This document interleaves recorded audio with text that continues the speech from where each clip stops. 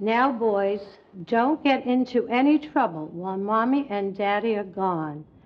And don't make a mess.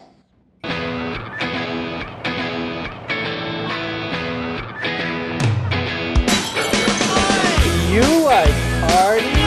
Yeah. We can invite all our friends and have soda and pie. Yeah! I hope no bad people show up.